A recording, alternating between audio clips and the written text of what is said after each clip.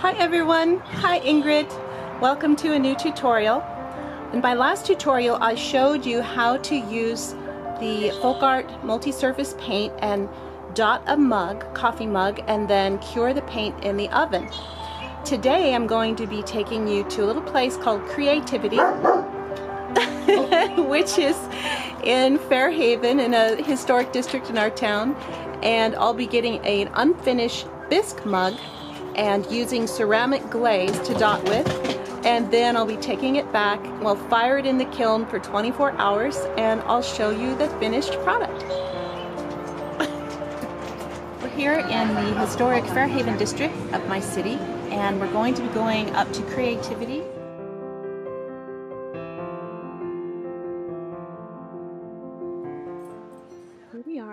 into Creativitea. It's a wonderful little shop where you can create ceramics and also sip tea from their wonderful tea selection. So I'm going to compare some acrylic paint with ceramic glaze. And they have a very similar consistency, so they're both great for dotting.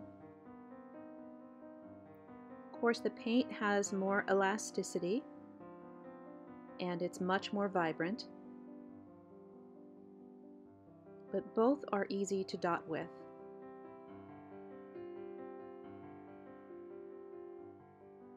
And ceramic glaze will be much darker after it's been fired in a kiln. So it's good to make a guide.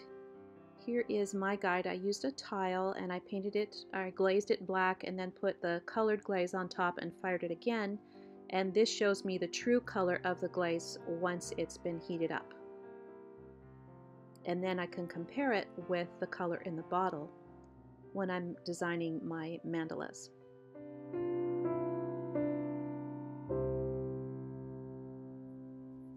So let's get started. This is an unfinished bisque mug that I purchased from Creativitea. This is a 16 ounce barrel mug.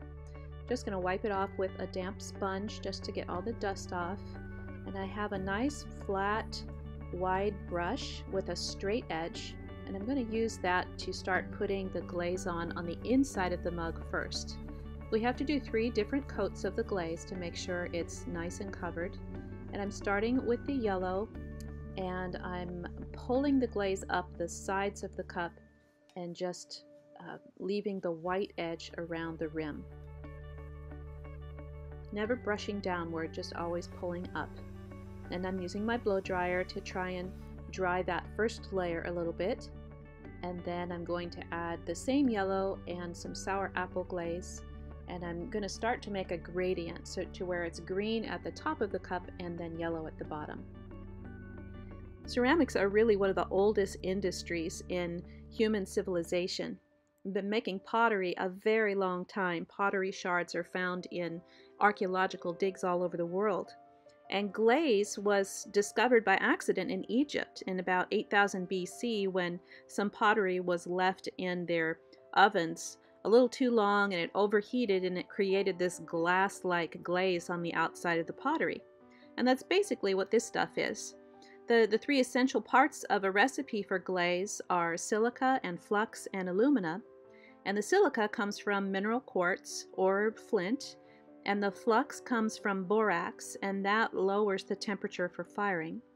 And the alumina clay keeps the glaze from running down the sides as it heats up inside the kiln. And the alumina clay is actually called kaolinite.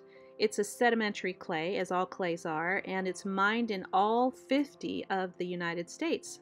So at one point, all 50 of the United States were underwater. It's pretty amazing. The uh, U.S. production of kaolinite is about 5 million tons a year, and it's mostly mined in Georgia and Texas. And it's also used for things like toothpaste and Pepto-Bismol. I bet you didn't know that. Okay, so now that the inside of the cup is done, let's do the outside. Basic glaze is white, so we've been adding some mineral oxides to the glaze to get these wonderful colors. To make a blue color glaze, you would add cobalt and nickel. And to make a, a red glaze, you would use iron or copper. For orange, you'd use cadmium or zinc. And for green, like on the inside of our cup, we'd be mixing in copper and chrome. And that gives you your different colors as it heats up and fires in the kiln. It releases the colors of these metals and it turns into these beautiful glazes. Almost a, a glass is what we're really creating. So you can see on the outside of the mug, again, I'm pulling up the glaze and leaving the edge of that white. And by using that straight edge flat brush, you can get that effect. That way you don't have to mask off anything. It just leaves it white. And as it fires in the kiln, that will make a nice smooth edge. So I know I need to do two more coats of black. I do have this wheel that I borrowed from Creativitea, so I can spin it as I'm pulling that glaze up along the edge, and that will give me a very smooth coverage and very few brush strokes. I just found that that was really handy. And if you ever go to Creativitea, you can find these under the sink. Um, they have a little cupboard there and the wheels are kept there. So I allowed these coats to dry overnight because I wanted them to be very dry and I had three other mugs to do. And normally I do mine freehand, but I thought I'd show you how to put a grid on here. You can use a graphite pencil and make sure it's graphite and not a mixture of graphite and lead or graphite and clay. Just a soft graphite pencil and I used a measuring tape so I could just lay it right against there. I made a cross and now I'm just sort of eyeballing it here in between those two lines to create a diagonal, holding it down. And these lines, because they're graphite, they will burn off in the kiln and you won't see them. So I've made an eight segment guideline and I'm going to start with the uh, cottontail white and some dandelion yellow. And also some orange appeal and some hot tamale. I love this red. It's a very vibrant red. Almost looks like stained glass on top of the black. And then some cinnamon sticks. This is a little deeper red.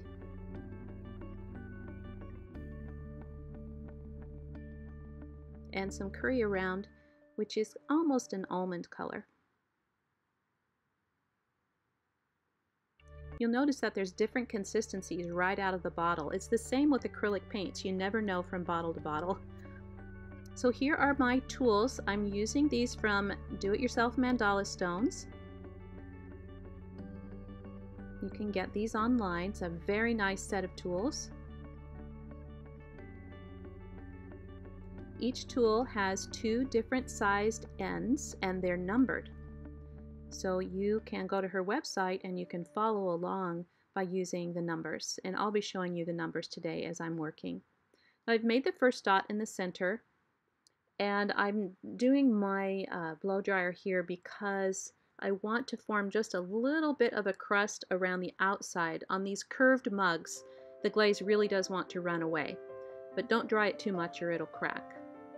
So now I'm using the number three and I'm putting a white dot on each of the guidelines.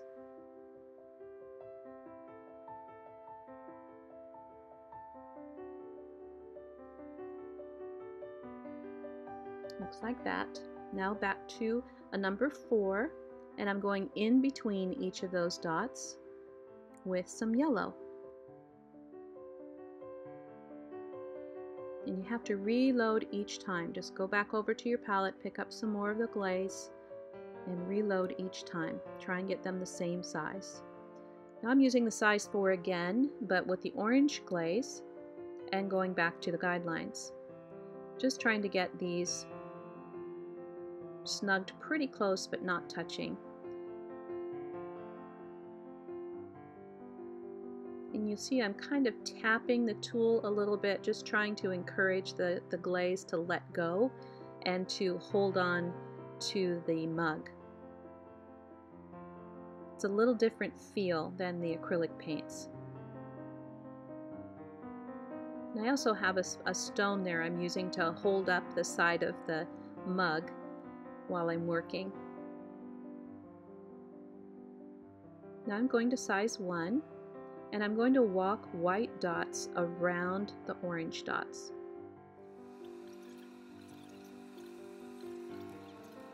is a little more difficult than dotting and, and walking dots with acrylic paint because the surface you're dotting on is, is very rough and chalky. It's not a smooth surface and again the glaze doesn't want to come off your tool as easily as it does um, from, with acrylic paint.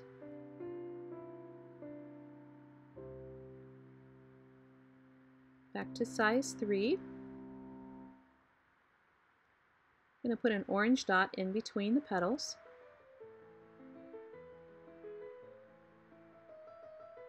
And then jumping up to a size 12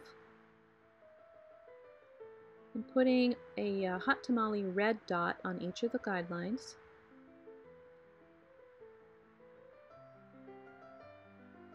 You just got to be careful with the larger dots because they they do want to flow. They do want to lean off to one side on these curved mugs. And it, it all depends on the thickness of your glaze, which will be different from bottle to bottle. If you find that it's too runny, just do one side and then blow dry it before you do the other side. Now you're going to walk yellow dots around these. I switched over to my manicure stylus my trusty Essence manicure stylus because I just found that uh, it was easier to walk the dots with a ball point.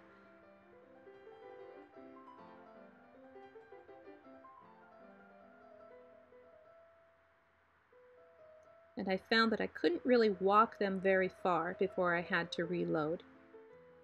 And so then I switched to my little tiny polymer clay sculpting tool to get my little tiny dots to walk those up.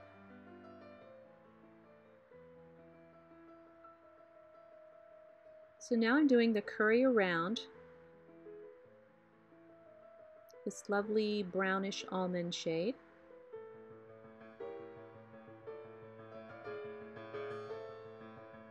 And I'm switching to a size 3 back to the hot tamale on the guidelines.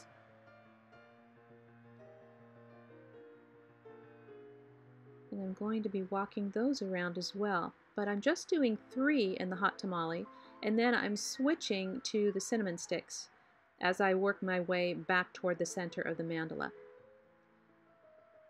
So the outside tip of the petal is going to be a brighter red than the inside edge.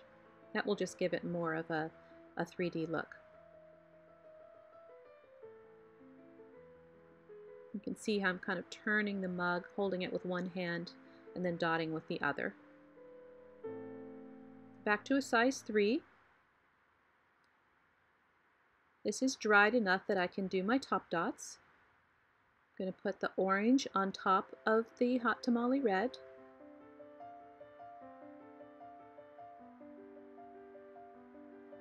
And then some yellow on top of the orange.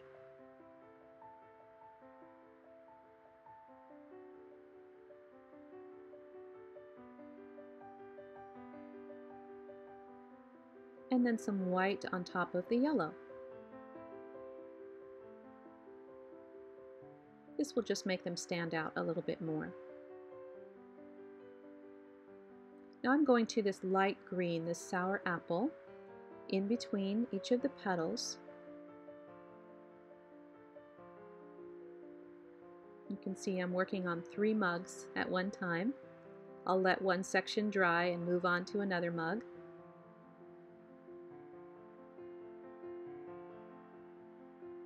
Now I'm adding two darker green dots on either side of that and then bumping up to the size 8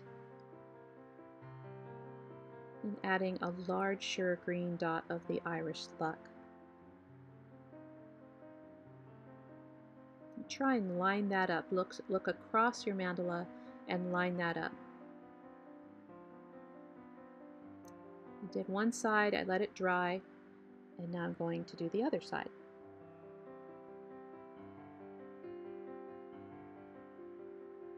Now I'm adding a final small dot of hot tamale at the end of the petal.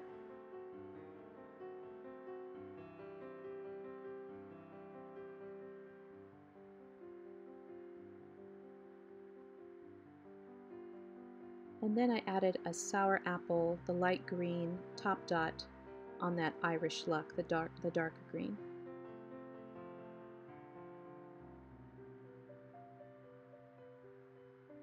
So this is what it looks like. It's very textured, very 3D, but all of that is going to turn to glass in the kiln and will be completely flat and much, much darker. So I let these dry completely and then I took them back to Creativitea in my box and they will put them in their kiln for 24 hours.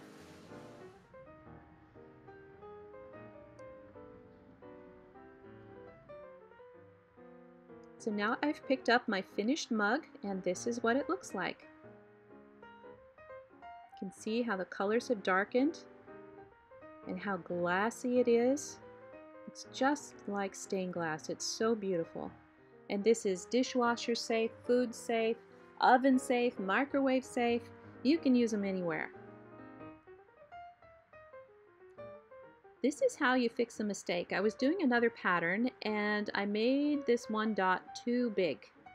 You may not notice it, but I noticed it and it was driving me crazy. So I got a little pen knife here. It's a little pointy razor blade and I'm just going to shave that off and try not to shave off the black undercoat but just shaving off the top dot. This is how you get them off. Don't try and get them off when they're wet. Wait till they dry and then you can just very carefully shave it off of there. It'll crumble. Just kind of wipe it off with a dry brush and then add a little bit more of the base coat. Let that dry and then you can reapply your dot in the right size.